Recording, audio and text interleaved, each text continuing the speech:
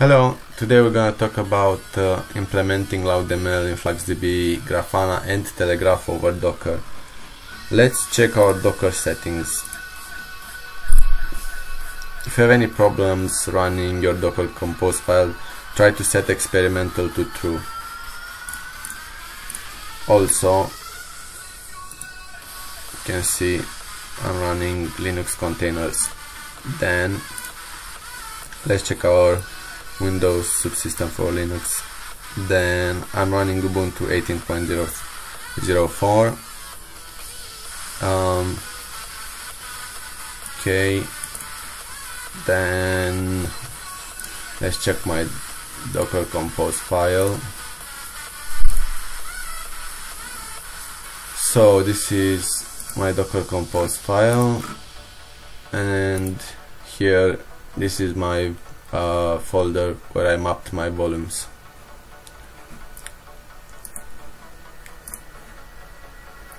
Okay, so that's all for the checklist. Let's now run the docker compose file. So you do it like this, you open a terminal and you write the name of the file. Docker compose, then you put the flag up We'll create the network, the volume, and then the container. Right, it should be running. You can check it. It's running. You go on port 3000 to open Grafana. Okay. Local host 3000. Okay, by default Grafana has a username and uh, password admin then it will ask you to change it. I'm just gonna keep the same admin, admin. okay now we go to add a data source. We're gonna add an InfluxDB data source where we'll store um, our CPU usage internal. Just call it internal. So http column slash slash influxdb 6 okay so this one in influxdb I'm getting it from the name of the serv service in docker compose file. And this one I'm also getting it from here where I've set the port to 8086 okay right you have to add some headers.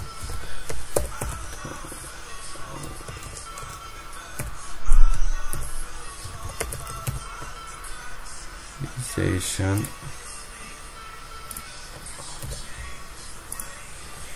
this one is token space whatever token. Okay so token bit space is the default. You have to put it. The whatever token uh, thing I have it here. So this is my secret um, that I've set up. You can put any any name there. The database I'm gonna use the internal database that's created by default when you create uh, InfluxDB container. User again admin and reset admin. So the user is what you set you've set here admin and admin for InfluxDB. Now you can also use for password the token I can prove to you. So the method is always get save and test is working. Okay so now let's try to use um, this token instead of admin. Copy paste. Ooh, okay I hope it's working. Yeah so it's working. So either way now it's working. You'll see we have influxdb internal here. Okay let's do something with this one. Let's store some some data in it so uh, the retention policy is auto gen then I want to measure my CPU usage system and the interval on every 5 seconds to store data in this database. Okay.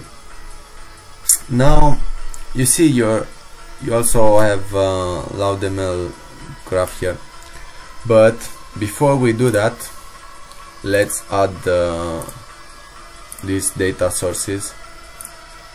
So I have one database where I um, store my data and I need another database where I can store my predictions. So let me call this predict predict. Okay and then here the same story http sorry http columns slash slash in fluxdb 8086 okay same thing we need to add this header authorization and then token space whatever token right. Now here the name of the database um, is actually the name of the database. So this is this is my input bucket. You can see the input bucket has internal as database. And this is my output bucket and it has your prediction center here as database. So I'm gonna put the name of the database here then here again admin.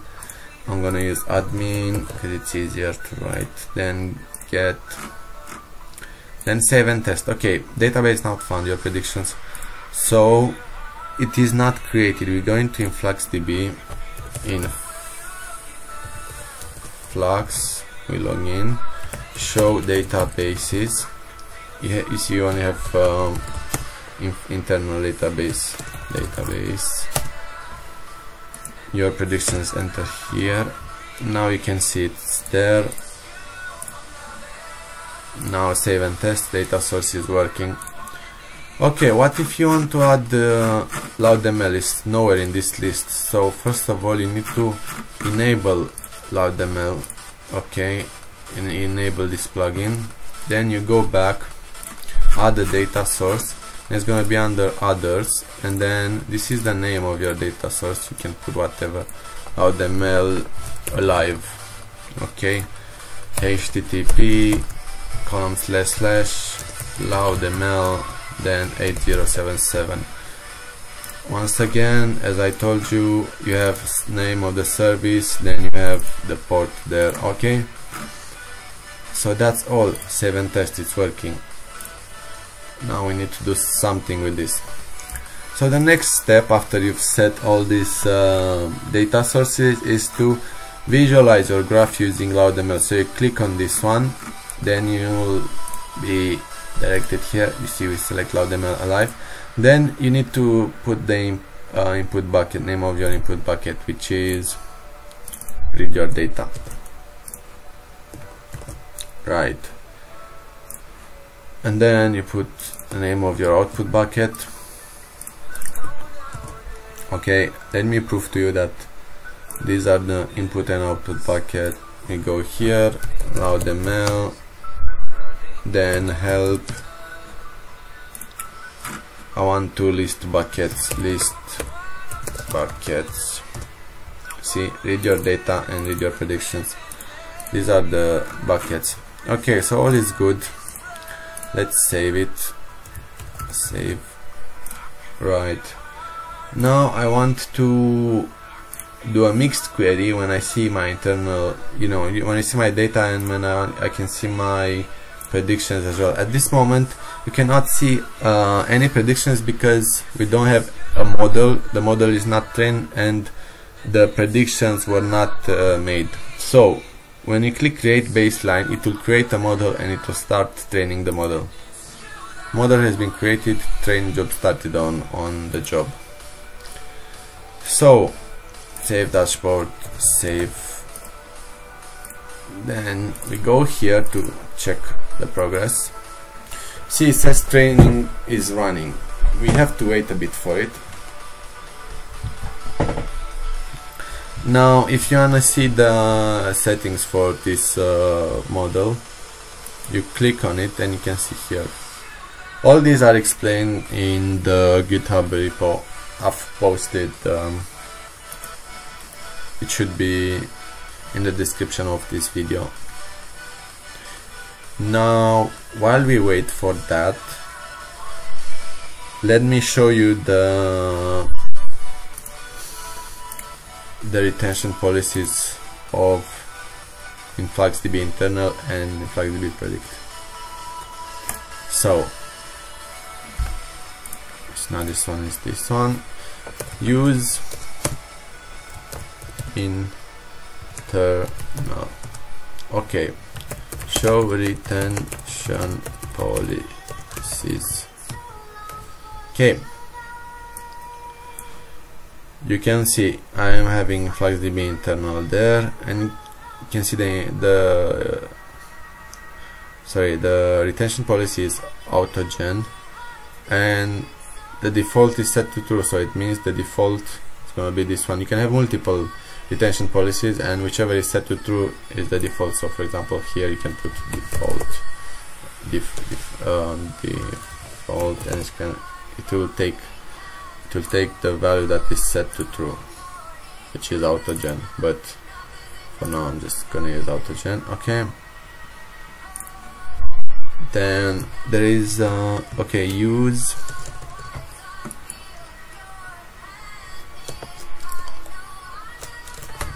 your options and enter here okay then show retention policies. Again you can see it's autogen. So when you're gonna do from you're gonna put autogen. Then select the measurement. The measurement will be loudml the measurement is going to be loudml because we have here measurement set to loudml okay? Then where here we're gonna have we're gonna write model equal to the name of this model this is only created when the forecast has been completed. Now we're just training our model. So we created the model. Okay it seems that it failed. So I need to add a bit more. So how do I know it failed? Usually it says here uh, that it failed. But because it says not trained it means that it failed okay save and test. We go back. We gonna train it again. Okay. So let's see. Says training running.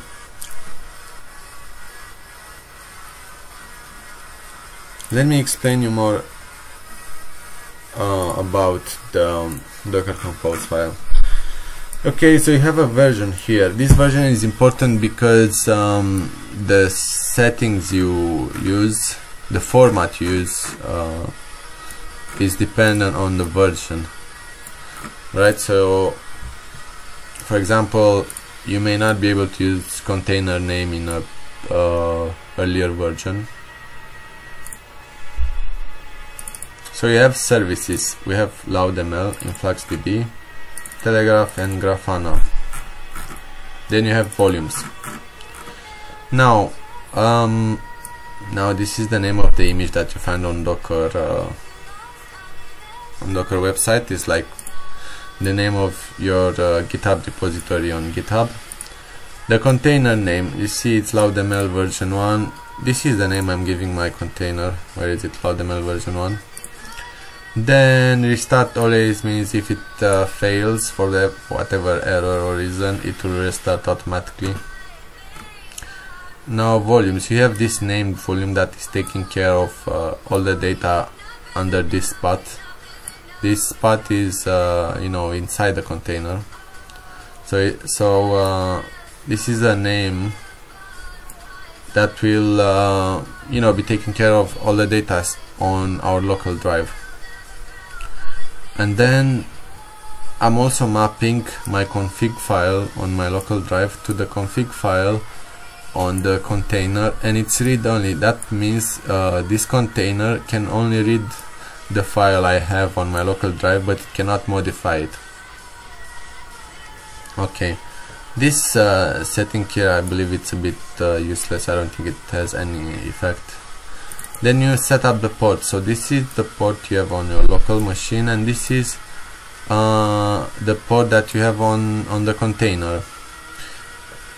Now um, this one it says depends on influxdb when you create the containers uh, if is if this uh, service is dependent on another service loudml won't be created uh, until influxdb is um, finished links.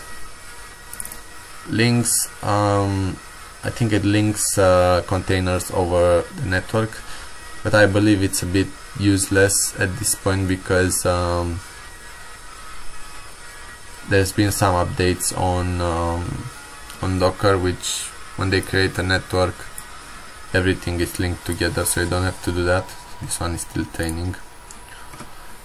Um, okay now you can see here I specified InfluxDB and then I specified the version of InfluxDB that I want.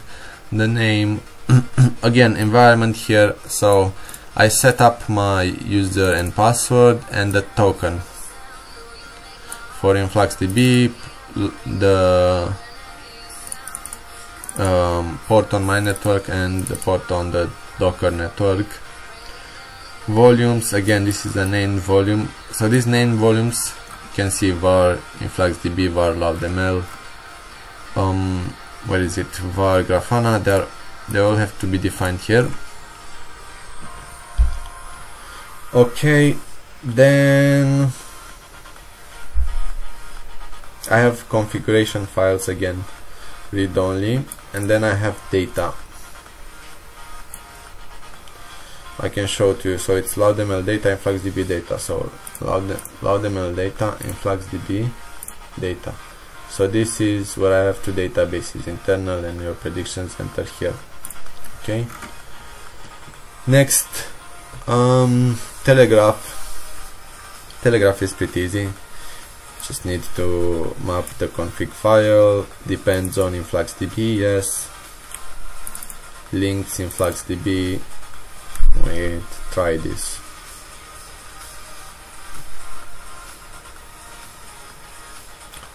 Okay.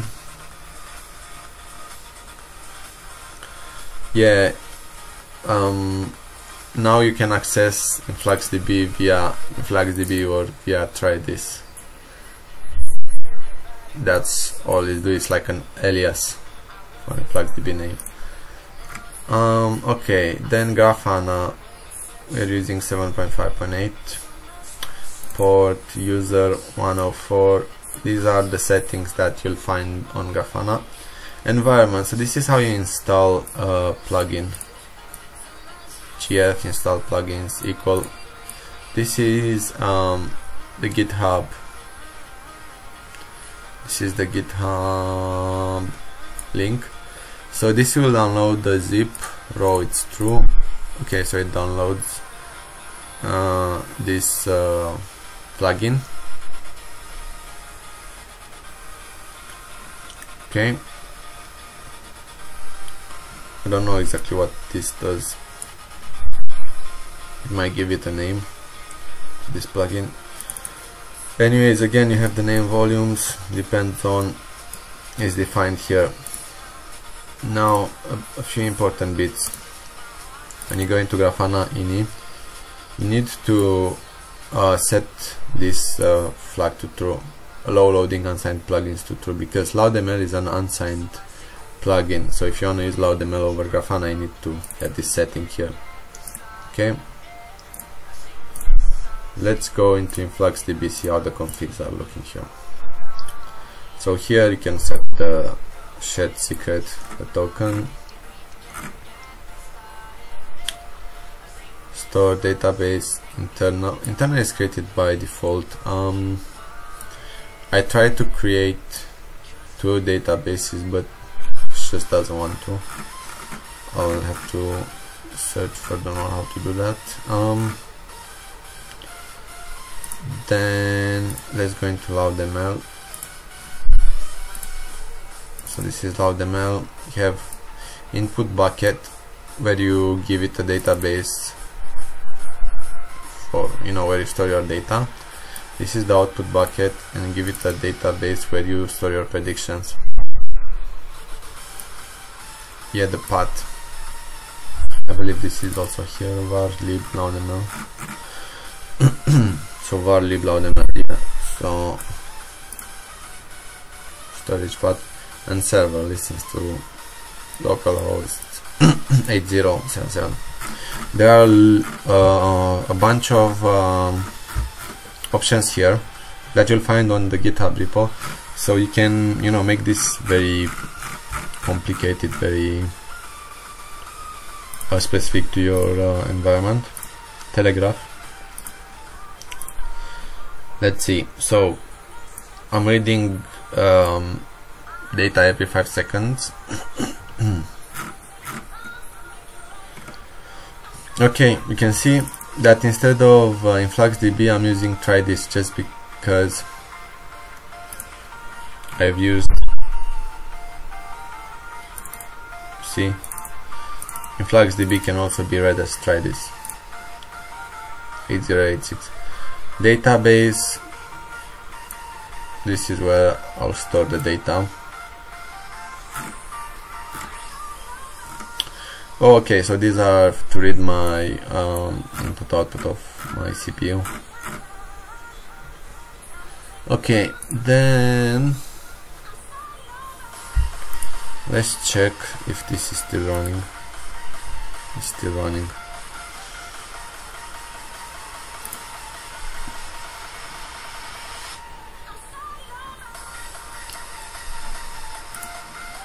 Okay, so now it's trained. After it is trained we click on play and then we click on forecast model forecast started. And what we'll do now it will um, forecast the data using the model and it will save that data in save in this uh, database predict okay. But let's look at how the mail see so forecast oh okay forecast is done. That's quick. Yay. So now I have data there. And I can go select AutoGen LoudML model. And I have there. Let's do mean. Now let's do upper then no interval 5 seconds. Every 5 seconds last 1 hour. No last 30 minutes. Okay last 15 minutes. Visualization is loud loudml let's see display. Show legend points